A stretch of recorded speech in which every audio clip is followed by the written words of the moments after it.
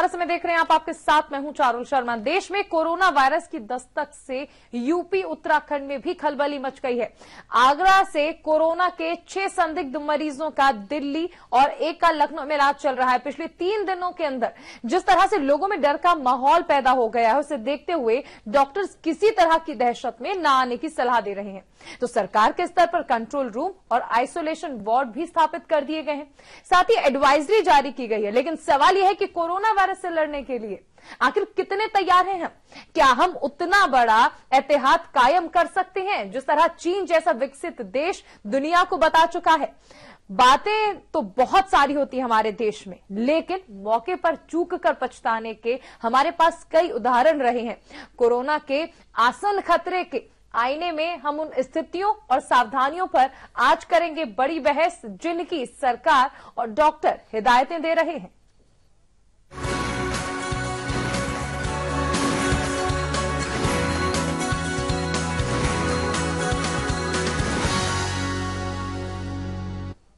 चीन समेत दुनिया भर के लिए कोरोना वायरस एक भयानक खतरा बन गया है। भारत में भी कोरोना वायरस का खतरा बढ़ गया है। गाजियाबाद में कोरोना वायरस से संक्रमित मरीज़ से मिलने। राजधानी समेत देश के दूसरे हिस्से से कुल 30 केस पॉजिटिव पाए गए हैं।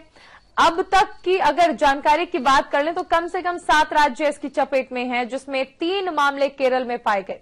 देश में कोरोना वायरस से मचे हाहाकार के बीच सरकार अलर्ट पर है। इस मसले पर संसद की स्वास्थ्य मंत्रालय से जुड़ी स्थायी समिति की बैठक संसद में हुई।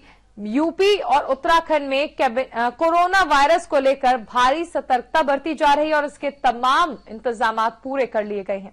यूपी सरकार ने कोरोना से निपटने के लिए लखनऊ में कंट्रोल रूम की स्थापना की है और हेल्पलाइन नंबर भी जारी कर दिया है। साथ ही लखनऊ डीएम ने एडवाइजरी जारी कर खुले में बिक रहे मांस मछली पर रोक लगा दी है। उत्तराखंड में भी जॉलीग्रांट एयरपोर्ट पर स्वास्थ्य विभाग ने एहतियातन बरता है।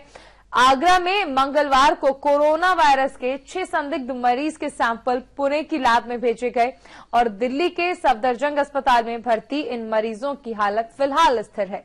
नोएडा में कोरोना वायरस के संदिग्ध मरीजों से लिए गए सभी नमूने नेगेटिव पाए जाने पर सभी मरीजों को फ़िलहाल डॉक्टर्स की निगरानी में रखा गया है। कोरोना वायरस पर राज्यसभा में केंद्रीय स्वास्थ्य मंत्री डॉक्टर हर्षवर्धन ने गुरुवार को बताया कि भारत ने डब्ल्यूएचओ की सलाह पर 17 जनवरी से आवश्यक तैयारी और कार्रवाई शुरू कर दी उन्होंने बताया कि 4 मार्च तक देश में कोरोना वायरस के उनतीस सकारात्मक मामले सामने आए हैं। बता दें कि गाजियाबाद में एक मामला सामने आने के बाद पूरे भारत में कोरोना वायरस के 30 मरीजों की अब तक पुष्टि हो चुकी है। जाँच के लिए 34 लैब की व्यवस्था की गई है। इटली से दिल्ली आए 15 सैलानी कोरोना वायरस से पीड़ित हैं। एम्स ने इसकी पुष्टि कर दी है। इसके लिए मंत्रियों का एक समूह भी स्थिति की निगरानी कर रहा है।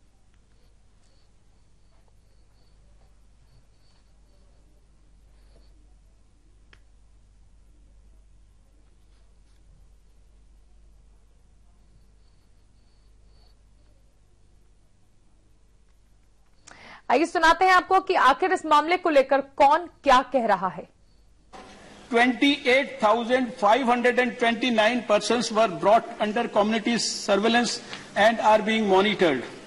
The state surveillance officers, district surveillance officers, and rapid response teams of health professionals under the leadership of the state health secretaries are monitoring all such people on a daily basis. Medical colleges में भी हम लोग ने bed के लिए arrangement कर दिया है। उनके अनुरोध पर, उनके उनके साथ करार करके, उनके साथ बात करके सात मेडिकल कॉलेज और 820 बेड हमारे सभी जनपद चिकित्सालयों पर हैं। ये ऑलरेडी हमारे यहाँ से तैयारी कर दी गई है। हर एक जनपद में हमारे मास्टर ट्रेनर भी हो गए हैं। और आगरा वाली घटना को लेके आपको अभी डॉक्टर मिथिलेश जी ने बताया था कि 24 घंटे के अंदर 22 टीम हमारे तीन किलोमीटर के रेडियस में उन सभी परिवारों में जाके जागरूकता फैले, उनसे पूछताछ किए, उनको चेक किए। उत्तर प्रदेश में आज के दिन में कोई भी पॉजिटिव केस हमारे पास नहीं है, इन सब सैंपल्स आने के बाद। और आज की जहाँ तक उससे, उसकी डरने की कोई आवश्यकता नहीं है, डॉक्टर मिथिलेश ने अभी आपको बताया भी है किस तरह से वो कांटेक्ट में आ सकता है, उसमें थोड़ी सावधानी बरतनी चाहिए और थोड़ा भीड़ भाड़ से थोड़ा दूर रहना चाहिए, अपना डिस्टेंस बना के रखिए। सरकार का काम है कि हम जो अपने मास्क हम लोग इकट्ठा करते हैं, हम लोग खरीदते हैं, वो हमारे मेडिकल कॉरपोरेशन से हमारे सारे अस्पतालों के लिए होता है। तो एक हमारे अस्पताल के लिए होता है। हम पब्लिक में नहीं देते हैं। हम पब्लिक में नहीं देते हैं। हम जो खरीदते हैं, हमारे अस्पतालों के लिए होता है। पब्लिक में जो आपको मेडिकल शॉप पर जो मिलता है, वो इस एक स्थिति जो पैदा हो गई है, उसके वजह से उसकी मांग बढ़ गई है, जिसकी वजह से उसके दाम बढ़ गए हैं। कोई भी मास्क लगाने की आवश्यकता नहीं है आज। ये हम बार बार आप लोग कह रहे हैं कि मास्क लगाने की आवश्यकता नहीं है। जो जो एहतियाती कदम उठाए जा सकते हैं, केंद्र सरकार के माध्यम से, प्रदेश सरकार के माध्यम से, वो कदम उठाए गए हैं। और ना तो डरने की ज़रूरत है ना किसी को डराने की ज़रूरत है। और ये ये वो भेजे गए हैं अभी सूचना जो आ रही है उसके हिसाब से जब तक सूचना कोई आ ना जाए पॉजिटिव है कि निगेटिव है उसकी जानकारी आने दो। उसको लेकर के स्वयं देश के प्रधानमंत्री जी ने हमारे प्रदेश के मुख्यमंत्री जी ने सभी ने अपील की है और आपसे मैं भी अपील कर रहा हूँ कि इसको लेकर के कोई दहशत में रहने की आवश्यकता नहीं है। वहीं कोरोना को देखते हुए लखनऊ डीएम अभिषेक प्रकाश ने एक एडवाइजरी जारी करते हुए खुले में मीट, अधप्रका मांस और मछली की बिक्री पर रोक लगा दी है। होटल और रेस्टोरेंट को साफ़ सफ़ाई और हाइजीन का ध्यान रखते हुए निर्देश जारी किए गए इसी के साथ डीएम ने कहा कि जहाँ पर खुले में पशु रहते हैं, वहाँ पर फॉगिंग की व्यवस्था की जाए। साथ ही खुले में मांस, मछली बिकने वाले इलाकों में लोग जाने से बचें। डीएम ने बताया कि एयरपोर्ट के साथ अस्पतालों में लोगों की स्क्रीनिंग और मॉनिटरिंग की जा रही है। कोरोना वायरल को लेकर डीएम ने एक हेल्पलाइन नंबर भी जारी कर दिया। डीएम ने बताया कि zero five double two two six double zero कीजिएगा two six double two zero eight zero और mobile number seven eight three nine seven double zero one four three two पर डायल करने पर लोगों को तत्काल मदद दी जाएगी।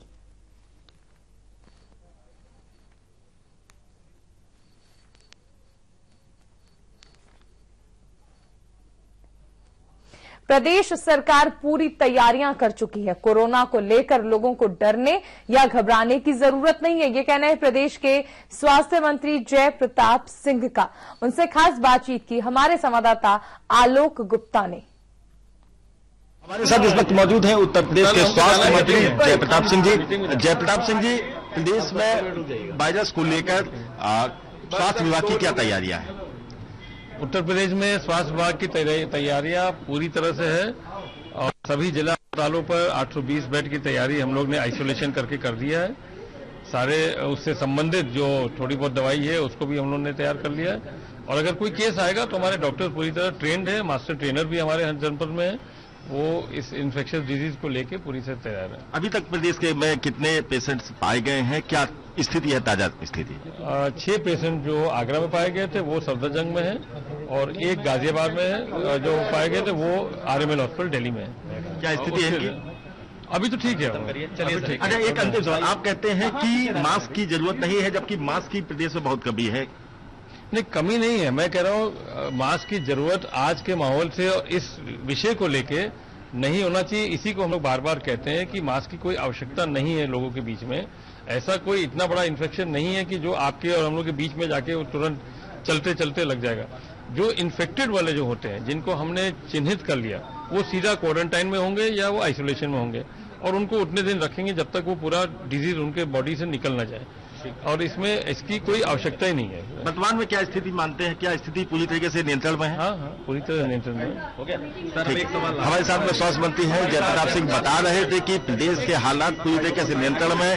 हालाँकि मास्क को लेकर पैनिक बना हुआ है लेकिन इनका कहना है कि मास्क को लगाने की कोई ज़रूरत नहीं है। समय के लिए लखनऊ कैमरामैन समीम के साथ आलोक गुप्ता। करते हैं चर्चा की। हमारे साथ चर्चा में मौजूद हैं लखनऊ से प्रसिद्ध डॉक्टर मनीष श्रीवास्तव और सामाजिक कार्यकर्ता दिलीप यशवर्धन। दोनों खास मेहमानों का मैं स्वागत करना चाहूँगी। और सबसे पहले दिलीप जी, मैं आपके पास आना चाहूँगी, एक सामाजिक कार्यकर्ता होने के नाते। आप कोरोना वायरस, जिस तरह से भारत में लगातार पैर पसार रहा है, उसमें किसकी लापरवाही मानते हैं? लगातार ये बातें कही जा रही थी सरकार की ओर से कि हम तैयार हैं। प्रशासन भी तैयार था, लेकिन फिर भी तीस लोगों में पुष्टि हो चुकी है अब तक। हम चूँकि पैनल हैं तो हमसे कहा गया है कि आप ज़्यादा ज़्यादा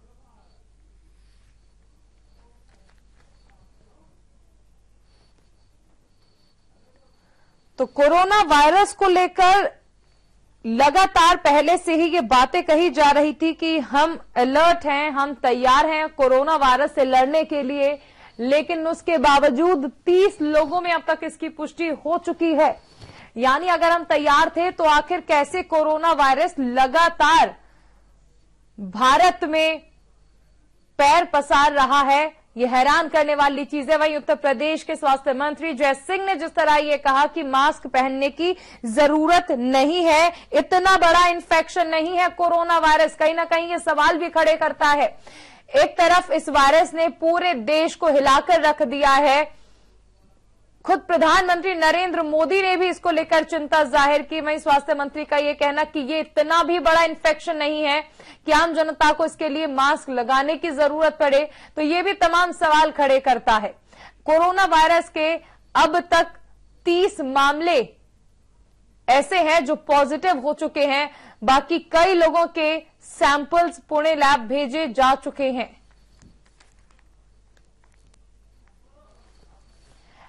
चलिए सामाजिक कार्यकर्ता दिलीप यशवर्धन हमारे साथ जुड़े हुए हैं और प्रसिद्ध डॉक्टर मनीष श्रीवास्तव जी भी हमारे साथ हैं। दिलीप जी सबसे पहले आपके पास आना चाहूँगी आपसे जानना चाहूँगी सरकार पूरी तरह से तैयार थी। दावे तो यही कहे जा, किए जा रहे थे लेकिन उसके बावजूद आखिर कहाँ कमी रह गई कि 30 लोगों में अब तक पॉजिटिव हो चुके हैं ये मामले?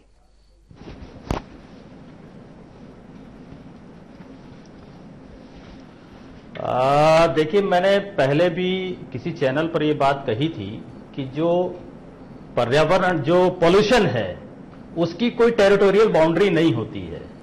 वो कहीं से भी कहीं पहुँच सकता है। पानी की बाउंड्री है, जमीनों की बाउंड्री है, हर चीज़ की बाउंड्री, लेकिन हवा की कोई बाउंड्री नहीं है। और ये कहीं की भी गंदगी कहीं का भी वायरस कहीं पर जाकर किसी को इफ़ेक्ट कर सकता है। और सबसे बड़ी चीज़ है कि ये वायरस ना तो पॉलिटिकल बाउंड्रीज देखता है ना जात देखता है ना छोटा देखता है ना बड़ा देखता है ना अमीर देखता है ना गरीब देखता है। सरकार की अपनी तैयारियाँ थी लेकिन सरकार हवा को तो नहीं रोक सकती है ना। और अगर किसी आदि क्योंकि ये कोई ऐसी विजिबल चीज़ नहीं है कि जिसको रोका जा सके। सरकार की अपनी तैयारियाँ थी सरकार की तैयारी ये हो सकती है कि अगर कहीं कोई चीज़ पाई जाएगी तो वो उसको क्योर कर लेगी। प्रिवेंशन के लिए हम रेमेडी सरकार नहीं ले सकती। प्रिवेंशन के लिए रेमेडी तो हम लोगों को अपने आप से लेनी है।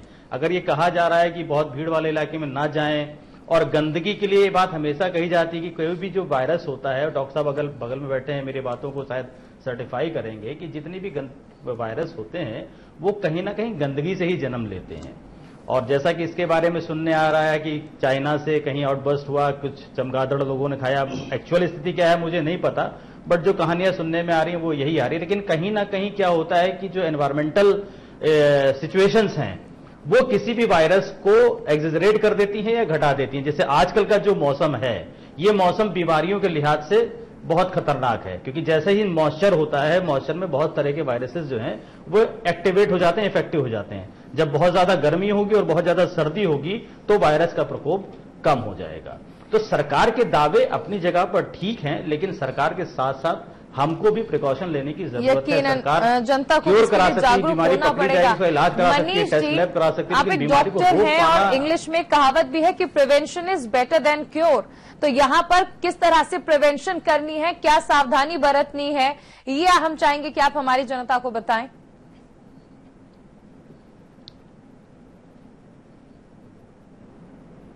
प्रिवेंशन के सिनेरियो पे जब हम लोग बात करेंगे तो अपन लोगों को तीन चीज़ फोकस करना पड़ेगा। पहला ये है कि स्क्रीनिंग राइट जो भी बंदा बाहर से आया है या सस्पेक्टेड है ऐसे बंदे जिनको कुछ स्पेसिफिक कंप्लेंट्स जितनी भी फ्लू से रिलेटेड होती हैं राइट हर घर में हर बंदा जानता है फ्लू मीन्स सर्दी, जुकाम, बुखार headache muscles cramp drowsiness weakness अगर इससे रिलेटेड हमको कोई भी साइन और सिम्टम मिलता है और कंटिन्यूसली ये बना हुआ तीन से पाँच दिन तक, और साथ में बंदा कहीं से माइग्रेट करके अपने पास से आया है तो हमको उसको आइसोलेट करना पड़ेगा। दूसरी चीज़ क्या है कि जितनी भी पब्लिक प्लेसेस हैं, एक ड्रॉपलेट इन्फेक्शन है। मीन्स जब तक कोई स्नीज नहीं करेगा कफ नहीं करेगा स्पिट नहीं करेगा राइट तो इसको होने की प्रोबेबिलिटी कम से कम बनती है। और बेरुलेंस एक चीज़ होती है मीन्स कितनी पोटेंशियल में वो वायरस जो है लीथल है राइट तो इसकी विरुलेंस ज़्यादा है तो इसको प्रिवेंशन के लिए अपन लोगों को सबसे पहले हैंड वॉश मींस जो सर्जिकल प्रोसीजर का हैंड वॉश है, उसमें मान लीजिए अपन को 60 सेकंड से लेके टू मिनट तक हैंड वॉश करना है। पानी से पानी अपने हाथ में डाल लें वेट कर लें वेट करने के बाद सोप ले लें और सोप को प्रॉपरली पाम टू पाम उसके बाद फिंगर का हेड उसके बाद ब्रेक्सिंग अपवर्ड डाउनवर्ड उसके बाद प्रॉपरली वॉश करें टैप वाटर से राइट इन स्टेप्स को फॉलो करें तो पहला एक चीज़ हो सकता है हैंड वॉश राइट दूसरा स्टेप क्या हो सकता है कि अपन लोग जितने भी पब्लिक प्लेसेस में अगर कोई बंदा हम लोगों को ऐसा मिल जाता है, जो सस्पेक्टेड है, उसको आइसोलेट करें, उसको डिज़ीज़ स्क्रीनिंग के लिए प्रमोट करें, क्योंकि अभी इतना ज़बरदस्त इन्फॉर्म ज़बरदस्त स्टेटस पे ये नहीं आया है कि हर बंदे को हमको सस्पेक्ट के दृष्टिकोण देखना। Means basically we have to find कि हम, जो बंदा कहीं से माइग्रेट करके आया है, और उसको लगातार हिस्ट्री में तीन से पाँच दिन तक ये समस्या बनी हुई है, कि उसका फीवर भी है हेडेक भी है लेग क्रैम्प भी है मसल क्रैम्प भी है राइट ड्राउजीनेस भी है तो सारी कंप्लायंस को एक साथ एसोसिएट करें। गवर्नमेंट ने कुछ स्पेसिफिक इंस्टीट्यूशंस बना रखे हैं, वहाँ पे सैंपल की स्क्रीनिंग होगी। और अगर पॉजिटिव पाया जाएगा तो उसको आइसोलेट करके करेंगे, क्योंकि सिर्फ़ इंडिविजुअली इस वायरस को अगर फोकस करेंगे तो ये वायरस अपना प्राइमरी रिजल्टेंट नहीं शो करेगा। जो भी इश्यूज़ आते हैं वो सेकेंडरी इन्फेक्शन की वजह से होते हैं। राइट तो प्रिवेंशन पे अपन लोगों ने तीन काम करना है। पहला हैंड वॉश दूसरा बंदा अगर मिल गया है, उसको आइसोलेट करना है।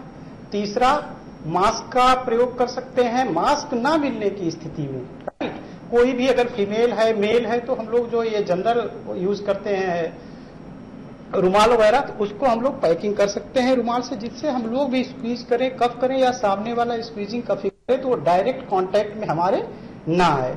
और बाकी इसकी रही बात उसकी कि ये इम्पैक्ट तो मान लीजिए तीन दिन से स्टार्ट करेगा चौदह दिन तक रखेगा कम से कम छह से आठ फीट की दूरी बना के रखे ये भी बहुत बड़ा मायने ये सावधानियाँ बरती जा सकती हैं। चौथी चीज़ क्या कर मैं सकते हैं कि हम लोग दिलीप जी आपके पास भी आना चाहूँगी। अभी जिस तरह मनीष जी ने ज़िक्र किया कि मास्क पहनने की ज़रूरत है लेकिन उसके बावजूद अभी स्वास्थ्य मंत्री को भी आपने सुना होगा उन्होंने कहा कि मास्क पहनने की तो ज़रूरत है ही नहीं। हालाँकि मार्केट में हम देख रहे हैं कि कितनी शॉर्टेज मास्क की भी है सैनिटाइजर की भी है लेकिन उसके बावजूद हम देख रहे हैं कि उस तरह से इंतज़ाम नहीं हो पा रहे हैं तो किसकी कमी मानते हैं आप इस पूरी चीज़ में?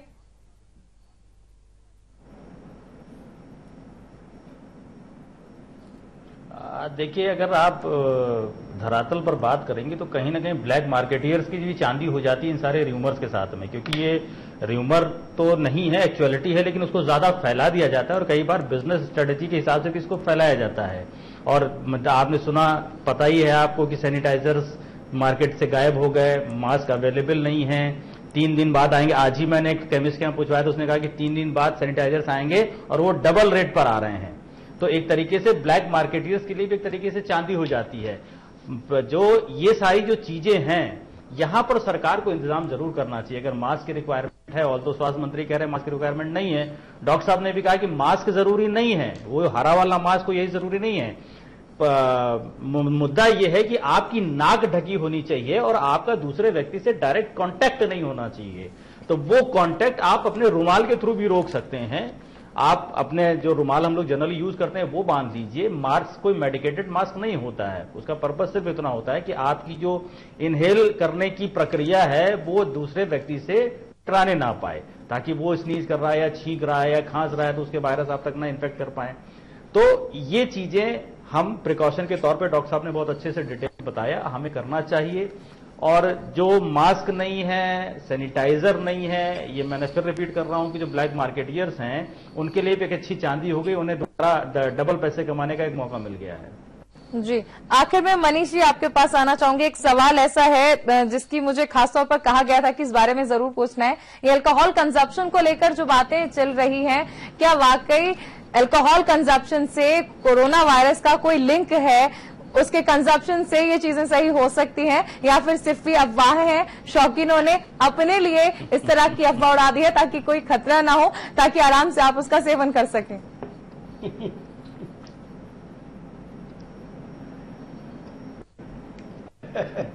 पहली चीज़ तो सबसे पहले हमको ये बहुत इजी एस्पेक्ट में समझना पड़ेगा कि किसी भी फॉर्म में अल्कोहल जैसे ही बॉडी के अंदर जाएगी, कोई ना कोई ड्रॉबैक क्रिएट करेगी। कहीं से भी कोई ऐसा, मैंने अभी तक तो स्टडी नहीं किया कि अल्कोहल पीने के बाद किसी बंदे को वायरस से लड़ने का पावर मिल जाए, बल्कि इम्यूनिटी और कमज़ोर हो जाएगी जो सेकेंडरी कंप्लेंट्स है, चाहे वो किडनी से रिलेटेड हो, चाहे वो लीवर से। रिलेटेड हो, चाहे रेस्पायरेटरी सिस्टम से रिलेटेड हो, चाहे वो इम्यूनिटी से रिलेटेड हो, चाहे उसकी ग्रूमिंग से रिलेटेड हो, चाहे उसकी मेंटल जनरल कंडीशन से रिलेटेड हो all things should be very erupted तो so that it is totally ban है, ऐसा कहीं कुछ नहीं पढ़ा गया कि आप एल्कोहल पी लेंगे तो आपको वायरस कोई इंपैक्ट नहीं करेगा इंपैक्ट करेगा तो कम करेगा, ऐसा कोई एथेंटिकाइजेशन नहीं है। जी, यकीनन उम्मीद की जा सकती है कि लोगों को जवाब मिल गया होगा। काफ़ी अफवाह इस तरह की फैल रही थी। फ़िलहाल वक्त कम है मेरे साथ चर्चा में जुड़ने के लिए। मेरे दोनों खास मेहमानों का बहुत बहुत शुक्रिया। दिलीप जी बहुत बहुत शुक्रिया। डॉक्टर मनीष बहुत बहुत शुक्रिया। मैं उम्मीद करती हूँ कि जो जानकारी आपने मुहैया कराई हमारे दर्शकों को, उनके लिए लाभदायक रहेंगी। बहुत बहुत शुक्रिया। चल तो सरकार ने जितने दावे किए थे, उस हिसाब से सरकारी इंतज़ाम तो फ़िलहाल नाकाफी नज़र आए हैं। लेकिन सवाल यह है कि अगर सरकार इस तरह से तैयार थी तो कोरोना वायरस लगातार कैसे भारत में अपनी जड़ें जो हैं, वो मज़बूत करता जा रहा है और मरीजों की संख्या में लगातार इजाफा हो रहा है। मेरे साथ इस खास पेशकश में फ़िलहाल इतना ही। आप बने रहिए सहारा समय के साथ, सहारा प्रणाम